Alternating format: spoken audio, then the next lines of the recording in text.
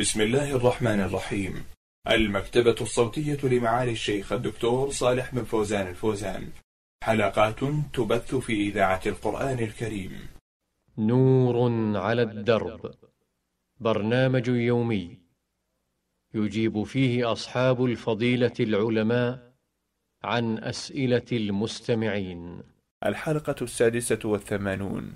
بسم الله الرحمن الرحيم. الحمد لله رب العالمين وصلى الله وسلم على نبينا محمد وعلى آله وصحبه أجمعين. إخوتنا المستمعين الكرام السلام عليكم ورحمة الله وبركاته. وحياكم الله. إلى لقاء جديد نور على الدرب. ضيف هذا اللقاء فضيلة الشيخ صالح بن فوزان بن عبد الله الفوزان عضو هيئة كبار العلماء وعضو اللجنة الدائمة للإفتاء. حياكم الله فضيلة الشيخ. حياكم الله وبارك فيكم. أول أسئلة هذا اللقاء من المرسلة جيم جيم من الرياض. تقول تزوجت من رجل طيب والحمد لله وذهبنا للعيش مع أهله في مدينة بعيدة لكن عندهم عادة ليست حميدة هي كشف نسائهم عند الرجال وأبوهم شيخ كبير ويستعمل الدخان ولا يداوم على الصلاة وقد أشرت على زوجي الذهاب من عندهم عندما نصحناهم فلم يستجيبوا ولكن زوجي رفض بحجة أن هؤلاء أهله ووالداه فقلت سوف أذهب وحدي لأني أخاف على نفسي فما قولكم في فعل هذا وما ترون لي. جزاكم الله خيرا. بسم الله الرحمن الرحيم. الحمد لله رب العالمين. صلى الله وسلم على نبينا محمد وعلى آله وصحبه وبعد. فإنه مما لا شك فيه وجوب الأمر بالمعروف والنهي عن المنكر والنصيحة لكل مسلم رأيت عليه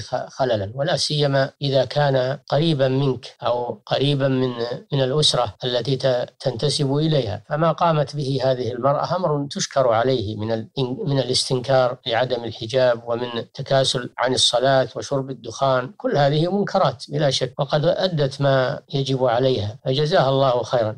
وأما ذهابها من عندهم بدون إذن زوجها فهذا يخشى عليها من الضرر بسببه ولكن في المرة الثانية لا تذهب معه إليهم تبقى في بيتها ولا تذهب معه إليهم ما داموا على هذه الحالة. نعم. يبدو أنها معهم في العي... للعيش معهم بشكل مستديم. ما هو زيارة. تقول ذهبنا للعيش معهم. للعيش معهم إذا لها الحق في أن تطلب بيتا مستقلا تطلب من زوجها بيتا مستقلا لها الحق في ذلك. نعم. أحسن الله إليكم. المرسل ميم لام من الرياض له سؤالان يقول في أولهما هل يجوز أن تخصى البهائم من الأنعام وغيرها؟ وهل صحيح أن الأرقاء قديما كانوا مخصيين؟ خصاء البهائم يجوز للحاجة إذا كان يترتب على ذلك مصلحة في نمو الحيوان الذي يراد للذبح وأكل لحمه كالخراف وغيرها فلا بأس بالخصاء لأجل المصلحة. المترتبة على ذلك. قد ضحى النبي صلى الله عليه وسلم بكبشين موجوئين يعني مخصيين. فهذا يجوز من أجل المصلحة لكن مع الرفق بالبهيمة عند الخصاء واتباع أسهل وسيلة مريحة لها في ذلك. نعم بقية السؤال. يقول هل صحيح أن الأرقاء قديما كانوا مخصيين؟ الله أعلم. لا نعلم عن ذلك شيئا. نعم. لم يثبت فيه شيء؟ الله أعلم. يقال هذا. يت- هذا يقال لكن لم لم يثبت عن عن ثقات وقوع هذا الشيء. نعم. يتردد عند العامة أن خصاءهم من أجل أمنهم على النساء. قد يكون قد يقع هذا قد يقع هذا من بعضهم فالله أعلم. نعم. سؤاله الآخر يقول فيه من نوى الزكاة ثم مات ولم يزكي فهل يمكن دفع الزكاة عنه بنية أنه زكى هو أما العمل؟ جزاكم من الله وجبت عليه الزكاة ومات قبل إخراجها فإنها تخرج من تركته تخرج من تركته لأنها دين لله عز وجل والديون يبدأ بها قبل آه، الوصايا وقبل المواريث قوله تعالى بعد وص- وصية يوصي بها أو دين. قد قضى النبي صلى الله عليه وسلم بالدين قبل الوصية. فهذا دين لله عز وجل. وجب في هذا المال وفي ذمة هذا الميت فيجب على وليه من بعده أن يخرج الزكاة من ماله نيابة عنه. نعم. أحسن الله إليكم. الأخت أم محمد من البكيرية في القصيم لها سؤالان أرسلت بهما. تقول في أولهما متى يباح إسقاط الحمل؟ وهل يكون علي نفاس إذا أسقطته؟ لا يجوز إسقاط الحمل إلا إذا قرر جماعة من الأطباء بأن بقاءه فيه خطر على حياة الأم. فإذا قرروا وأجمعوا على أن في بقاء الحمل خطرا على حياة اليوم على حياة الأم فإنه يجوز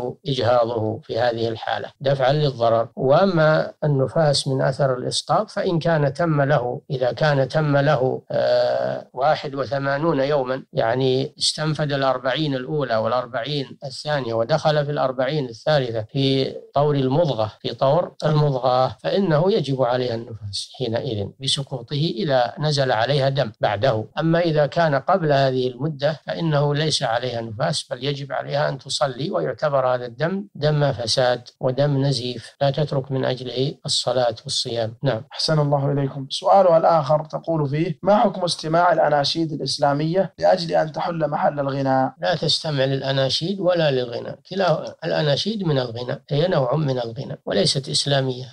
الإسلام ليس فيه أناشيد وإنما هذا اسم مبتكر آه، عند بعض الصوفية أو بعض المتشبهين بالصوفية. الواجب على المسلم أن يستمع القرآن وأن يستمع إلى ذكر الله عز وجل وليس بحاجة إلى استماع الأناشيد التي تأخذ وقته وتلهيه عن عن ذكر الله عز وجل. نعم. بعضهم الشيخ يحتج بقوله صلى الله عليه وسلم رفقا بالقواليد يا أنجش هذا واحد ينشد واحد في السفر. كان ينشد بلحن يعني؟ أي واحد في السفر بصوت واحد ما هو بصوت جماعي. وأناشيد جماعية منغمة كما هو الحال عليه الآن. ليست هذا من هذا النوع. ففي السفر إذا مل الناس من السير فلا بأس أن يحدو واحد بصوته من أجل الإبل تسير على على صوته ومن أجل أن ينشط المسافرين ويطرد عنهم النعاس. نعم. صوت واحد شخص واحد ما هو ما هو أناشيد نعم. الله إليك. المرسل عبد الرحمن محمد من جدة يقول أنا مريض بسلس البول. عافانا الله وإياكم. وأتوضأ لكل صلاة. وأحيانا أكون في المسجد الحرام. ولكني أشعر بشيء يخرج مني. أعزكم الله. فهل أذهب لأعيد الوضوء؟ علما أن دورات المياه كما تعلمون خارج الحرم وبعيدة عنه وبها زحام شديد. وربما تفوتني الصلاة وأنا في الدورة. فماذا أفعل؟ وهل إذا فاتتني الصلاة أصليها من جديد؟ وما قولكم في فوت الجماعة لي وأنا جوار المسجد؟ أفتوني جزاكم الله خيرا ونفع بعلمكم إذا كان البول ينزل عليك بصفة دائمة فهذا هو مرض السلس. فعليك أن تتوضأ عندما تريد الصلاة. لا تقدم الوضوء بوقت طويل وإنما تتوضأ عندما تريد الصلاة. عند الإقامة إذا كنت تذهب للصلاة في المسجد تتوضأ وتذهب إلى المسجد لتحضر الصلاة من أولها وتضع يعني تستنجي أولا ثم تضع على ذكرك حافظا يمنع تسرب البول إلى ثيابك وإلى جسمك وإلى المكان تضع شيئا حافظا ثم تتوضأ ثم تصلي في الحال سواء كنت في مكة أو في غيرها. ولو خرج منك البول في أثناء الصلاة فإنه لا يبطل صلاتك والحمد لله. لقوله تعالى فاتقوا الله ما استطعتم. لا يكلف الله نفسا إلا وسعها. أما إذا توضأت بزمن طويل فإنه لا فإنه لا بد من إعادة الوضوء لأنك توضأت قبل آه، دخول الوقت وحضور الصلاة بالنسبة لك. لأنك من أصحاب الأعذار فلا تقدم الوضوء بوقت طويل وإنما تتوضأ عندما تريد الصلاة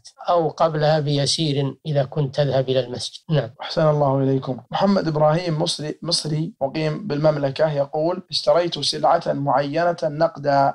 ثم بعتها على آخر بالتقسيط ولكن بسعر أعلى مما اشتريتها به. فما حكم ذلك؟ جزاكم الله خيرا. إذا كنت قد اشتريت السلعة وقبضتها قبضا تاما فلك أن تبيعها بثمن حال أو بثمن مؤجل أو بثمن مقسط أكثر من ثمنها الذي اشتريتها به أو أقل أو مساويا لا حرج عليك في ذلك. قوله تعالى وأحل الله البيع. والأصل في المعاملات الحل إلا ما دل الدليل على من أما إذا كنت تبيع السلع قبل أن تملكها وقبل أن تقبضها ثم تذهب وتشتريها تسلمها للمستدين منك فهذا لا يجوز. قوله صلى الله عليه وسلم لا تبع ما ليس عندك. نعم. يقول في سؤاله الآخر هل يصح أن تتزوج امرأة من رجل وقد دفع نصف المهر لها قبل الزواج ويريد بعد الزواج دفع الباقي بالتقسيط؟ لا بأس. المهر أمره واسع. إن شاء دفعه دفعة واحدة قبل العقد أو بعد العقد وسواء دفعه جملة أو دفعه مقسطا لا حرج في ذلك. على حسب ما يصطلحان عليه. نعم. الحمد لله. المرسل أحمد علي من اليمن يقول هل يجوز إحراق الأوراق التي فيها ذكر الله في المنزل؟ وكذلك الصحف والمجلات والكتب كأوراق المصحف المقطع. وهل تمزيقها قطعا صغيرة يكفي عن إحراقها لأنها إذا تمزقت قطعا صغيرة لم يعد فيها شيء تام من ذكر الله ولا من الأسماء الحسنى ونحو ذلك مما يجب احترامه. أما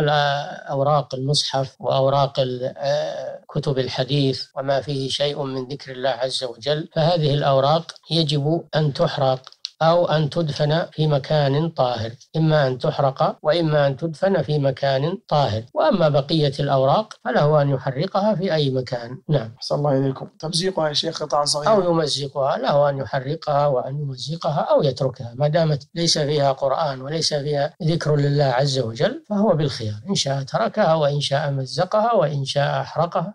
لو أراد أن يرميها في سلة المهملات فمزقها قبل ذلك مزقا صغيرة يكون هذا كالإحراق لها؟ لا بالنسبة للمصحف بالنسبة لورق المصحف لا يكفي تمزيقها. لا بد من إتلافها تماما بحرقها كما فعل الصحابة رضي الله عنهم أو بدفنها في مكان طاهر. نعم. لكن غير ذلك؟ لكن غير ذلك من الأوراق له أن يمزقها وأن يتلفها وأن يحرقها. نعم. فإذا مزقها مزقا صغيرا يرميها مع أوراق أخرى؟ قد ترمى في المهملات وقد ما دام ليس فيها شيء من ذكر الله عز وجل فلا بأس. قد يكون فيها مثل البسملة. لا إذا كان فيها شيء فإنه يحرق ما فيه ذكر الله أو يدفنه في مكان طاهر. نعم. أحسن الله إليكم المرسلة السناء محمد من الرياض تقول صليت العصر ثم شككت. هل صليت ثلاثا؟ شككت أني صليت ثلاثا فصليت واحدة هي الرابعة. فماذا أفعل بالسجود؟ هل أسجد للسهو قبل السلام أو بعده؟ وماذا علي إذا نسيت السجود كله؟ أفتوني مأجورين. سجود السهو يجوز قبل السلام ويجوز بعد السلام إلا أنه إذا كان عن زيادة في الصلاة سهوا فالأفضل أن يكون بعد السلام. وإن كان عن نقص في الصلاة سهوا فإنه يكون قبل السلام. هذا هو الأفضل. وإذا تركه الإنسان وطال الفصل فإنه يسقط عنه. أما إذا تركه ولم يطل الفصل فإنه يعود ويسجد للسهو. نعم. أحسن الله إليكم. المرسل محمد سليم من القاهرة. له سؤالان يقول في أولهما إذا تلفظ الزوج بطلاق امرأته أو نوى ولم يتلفظ على زوجته ولا على أحد هل يقع الطلاق أم لا؟ نعم. يقول إذا تلفظ الزوج بطلاق امرأته أو نوى ولم يتلفظ على زوجته به ولا على أحد هل يقع الطلاق أم لا؟ أما إذا تلفظ بالطلاق فإنه يقع وأما إذا نواه ولم يتلفظ به فمجرد النية لا يقع بها طلاق لا بد من التلفظ. نعم. ولو كان خاليا عن زوجته طالق مثلا. أي نعم. إذا تلفظ به وقع ولو كان ليس عنده أحد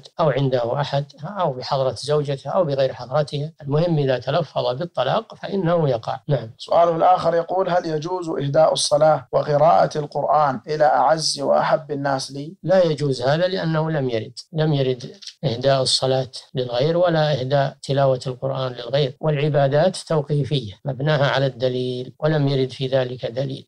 وإنما إنما الذي ورد؟ أنه يهدى ثوابه للميت الصدقة والدعاء والاستغفار له الحج العمرة عنه ذبح الأضحية عنه. هذه أمور ورد بها الدليل. نعم. أحسن الله إليكم. المرسل ها ألف من الدمام يقول في سؤاله امرأة تزوجت وفي تلك الليلة وقبل دخول الزوج عليها قدر الله سبحانه وتعالى أن يحصل له حادث فمات فهل تعتد عليه؟ نعم إذا عقد عليها ثم توفي قبل الدخول فإنها يجب عليها عدة الوفاة وأيضا ترث من ماله ترث من ماله. لعموم قوله تعالى والذين يتوفون منكم ويذرون أزواجا يتربصن بأنفسهن أربعة أشهر وعشرا هذا عام في المدخول بها وفي غيرها. ولأن ابن مسعود رضي الله عنه لما سئل عن ذلك أفتى بأن عليها العدة. نعم. جزاكم الله خيرا. المرسلة هاء لام من عنيزة تقول في حفلات الزواج كثيرا ما نرى من بعض النساء من يقوم بالتصفير والتصفيق وتشجيع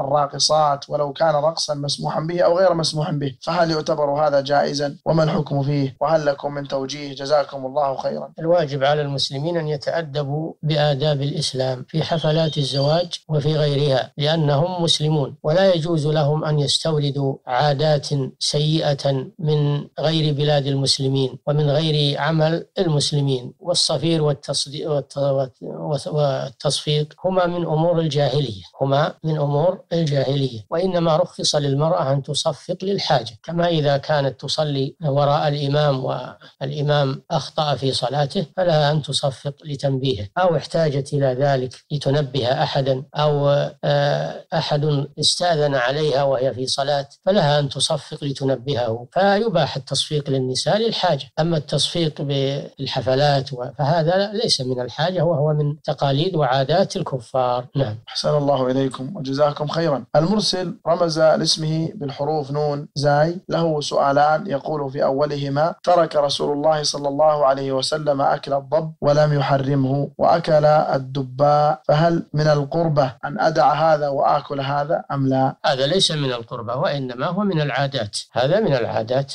الأكل من العادات. إن شئت تأكل أكل من المباح وإن شئت ألا تأكل فلا تأكل. هذه أمور عادية ليست من, من أمور العبادة. العبادة. نعم. لكن اتباع رسول الله فيها يكون له فزية. هذا ليس من باب التشريع ليس من باب التشريع وإنما هو من باب العادات. يعني ينظر ما تألفه نفسه فما اشتهى من الحلال أكله أو تركه. ينظر ما يليق بنفسه وما تطلبه نفسه ولا حرج ويأكل منه. أما أنه يأكل يقول بقتدي بالرسول وهذا السنة نعم. هذا ليس من باب التشريع. نعم.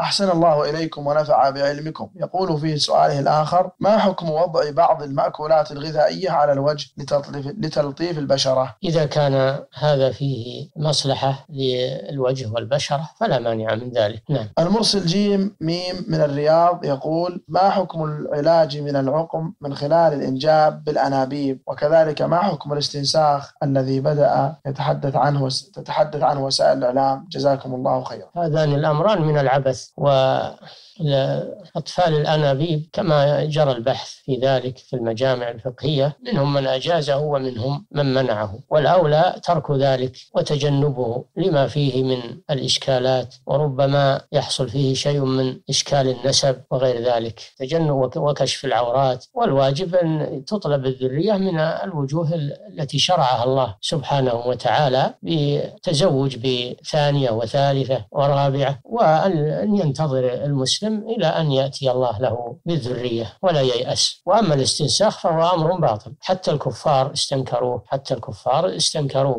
ومنعوا منه. نعم. أحسن الله إليكم. المرسلة ها دال من الرياض تقول في سؤالها الأول هل صحيح أن الذي صلى قبل طلوع الشمس وقبل غروبها لن يلج النار؟ وهل معنى ذلك أنه في الجنة؟ وهل من صلاهما سوف يرون الله سبحانه وتعالى في الجنة كما يرون القمر؟ ثم ما معنى قوله صلى الله عليه وسلم لا تضامون في رؤيته؟ يعني الله جل وعلا. نعم. الصلاة قبل طلوع الشمس وقبل غروبها المراد بها صلاة الفجر صلاة العصر. وفي الحديث الصحيح من صلى البردين دخل الجنة. الله جل وعلا يقول وسبح بحمد ربك قبل طلوع الشمس وقبل غروبها. يعني صلاة الفجر وصلاة العصر. لما في هاتين الصلاتين من الفضل العظيم ولأنهما تجتمع فيهما الملائكة الحفظة ملائكة الليل وملائكة النهار يشهدون مع المسلمين صلاة الفجر وصلاة العصر فكانت لهما هاتان المزيتان على غيرهما من الصلوات. ومن حافظ عليهما فإنه يرى ربه يوم القيامة قوله صلى الله عليه وسلم إنكم سترون ربكم كما ترون القمر آه ليس دونه آه صحوا ليس دونه سحاب وكما ترون القمر ليلة البدر وكما ترون الشمس صحوا ليس دونها سحاب. فإن استطعتم ألا تغلبوا على صلاة قبل طلوع الفجر وقبل غروبها فافعلوا. ومعنى قوله لا تضامون أو لا تضامون بروايتين. نعم. في رؤيته سبحانه أن كلا يراه من غير زحام من غير أن يجتمع في الناس في مكان واحد ليروه جل وعلا. وإنما كل يراه وهو في مكانه. وضرب النبي صلى الله عليه وسلم مثلا لذلك برؤية الشمس ورؤية القمر. كل يراها وهو في مكانه. ولا يزدحم الناس لأجل أن يروا الشمس أو يروا القمر. فكذلك الرب جل وعلا يرى من غير مزاحمة ومن غير مضايقة بين الناس. وهذا من تشبيه الرؤية بالرؤية وليس من تشبيه المرء بالمرء كما يقول أهل العلم. نعم. أحسن الله إليكم. تقول في آخر سؤالها وسمعت أن من صلى العشاء والفجر في جماعة ينال أجرا يساوي قيام الليل. فهل هذا صحيح؟ وهل النساء لها ذلك ولو لم يكن في جماعة؟ أرجو إفادتي. جزاكم الله خيرا. نعم هذا صحيح. أن من قام من صلى العشاء في جماعة فكأنما قام نصف الليل ومن صلى الفجر في جماعة فكأنما قام الليل كله. وهذا فضل عظيم وهذا يحصل إن شاء الله للرجال والنساء من المسلمين. نعم. المرسل راشد علي من القصيم يقول هل تعليم الأطفال آداب الأكل والشرب والتعامل مع الناس والنظافة وغيرها وكذلك القراءة والكتابة ونحو ذلك واجب على والديهم أم غير واجب؟ هل من كلمة في ذلك؟ جزاكم الله خيرا. واجب على الوالدين أن يرب أن يربي الأولاد على آداب الإسلام ولا سيما على فعل الواجبات وترك المحرمات ولزوم الأخلاق الطيبة والسلوك الحسن. النبي صلى الله عليه وسلم لما أكل عنده عمر بن سلمة ربيبه وجالت يده في الصفحة, في الصحفة قال له النبي صلى الله عليه وسلم يا غلام سم الله وكل بيمينك وكل مما يليك. فعلم هذا الصبي آداب الأكل دل على أنه مطلوب تربية الأولاد على آداب الأكل والشرب وغير ذلك من آداب الإسلام. وقال النبي صلى الله عليه وسلم للوالدين مروا أولادكم بالصلاة لسبع واضربوهم وهم على لعشر وفرقوا بينهم في المضاجع. هذه تربية على أداء الصلوات وعلى إبعادهم عن آه، مواطن الشبهات والشكوك التي يمكن أن تدب بالشهوة بينهم. ولهذا أمر بالتفريق بينهم في المضاجع من أجل أن يعتادوا الابتعاد عن وسائل آه، عن عن وسائل الحرام عن وسائل فعل الحرام. إلى غير ذلك من من الآداب التي الله جل وعلا يقول وقل رب ارحمهما كما ربياني صغيرا فدل على أن على الوالدين أن يربي ولدهما الصغير على الأخلاق الفاضلة وأن هذا من إسداء المعروف والخير إلى ولدهما. نعم. أحسن الله إليكم ونفع بعلمكم. إخوتنا المستمعين الكرام أجاب عن أسئلتكم واستفساراتكم فضيلة الشيخ صالح بن فوزان الفوزان عضو هيئة كبار العلماء وعضو اللجنة الدائمة للإفتاء. شكر الله لفضيلته ما تكرم به من الجواب وشكر لكم حسن استماعكم ونفعنا وإياكم بما نقول ونسمع. ولكم في نهاية لقائنا تحية من زميلي في هندسة الصوت مشعل الدهيش. ونحن نتلقى استفساراتكم وأسئلتكم على عنوان البرنامج المملكة العربية السعودية الرياض الإذاعة. برنامج نور على الدرب. والسلام عليكم.